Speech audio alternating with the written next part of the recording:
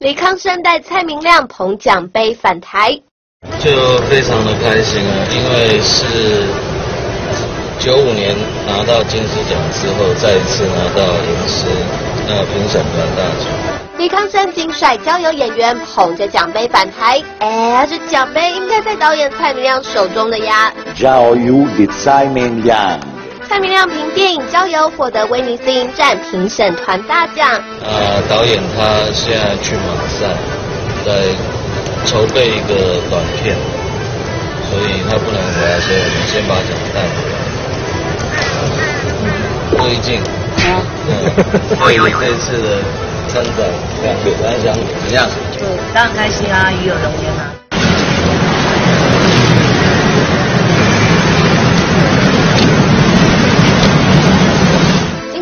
郊游获得国际影展肯定，仍不会在台湾戏院上映。蔡明亮先前也表示，郊游是他最后一部剧情长片，不知道获奖后会不会改变心意哦。这个问题我觉得还是要问他。不过我想说，到时候也许有资金，或者是有新他自己有新的想法，也许他还会继续拍。不过他现在还是以艺术创作为主。